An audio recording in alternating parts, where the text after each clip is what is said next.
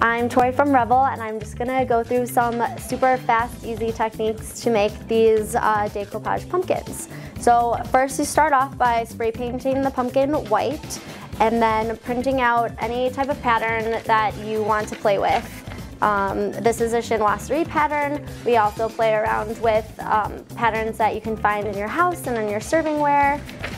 And you're gonna cut off any extra white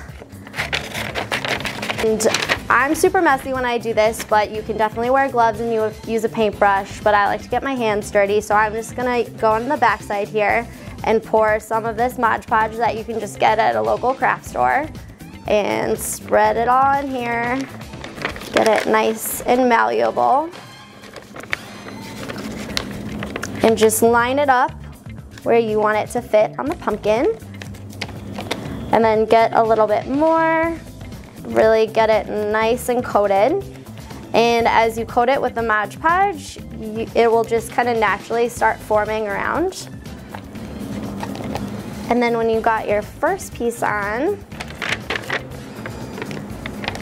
you're just gonna line up the second one next to it and do the same technique. This is totally something that your kids can do at home and it'll be fun if they like to get their hands dirty. Um, just set down some plastic, moms. And then once you got your pumpkin coated, you fill in all the um, open areas. It just needs to dry for uh, overnight and then you're ready to go. And there you go, you got your very own pumpkin centerpiece.